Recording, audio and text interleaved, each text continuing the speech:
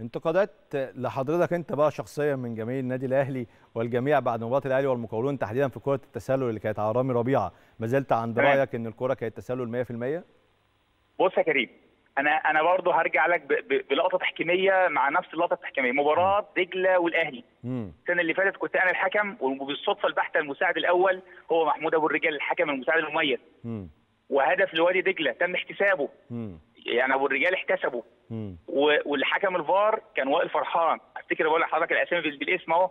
وقال لي يا كابتن في في في قال لي في ال earpiece كده في واحد من دجلة في موقف تسلل وأعاق أيمن أشرف. من مسك الكورة آه.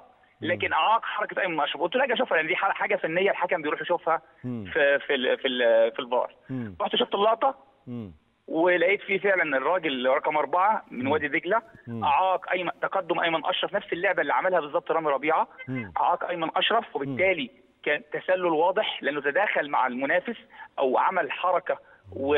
والحركة دي عمل بعد كده كونتاكت مع المنافس اعاقته إنه يوصل إن مش هيوصل للكورة اعاقته إن هو يكمل في في الكورة. وبالتالي كان كان يتعاقب. فساعتها أنا عاقبته واديته تسلل ولغيت هدف وادي دجلة مع الأهلي. نفس اللقطة بالظبط حصلت للاهلي فما فيش مشكلة إحنا بنتكلم في معيار واحد. مظبوط. أبو الرجال في اللقطة دي أبو الرجال أنا على فكرة بشيد بيه جدا دي أنا قلت أنا قلت على اللقطة اللي عملها أبو الرجال دي دي لقطة الموسم تحكيميا.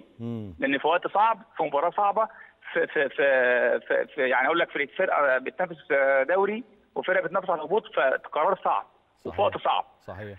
أبو الرجال كان معايا احتسب الل- اللقطة دي. مظبوط. يعني ومع ذلك اتعلم بالخبرات طيب. اتعلم اللقطة دي السنة اللي فاتت لما جت له السنة دي احتسبها بمنتهى الارتياحيه شوف الرياكشن بتاع ابو الرجال وعلى وشه الراجل واثق من قراره ومتأكد من قراره.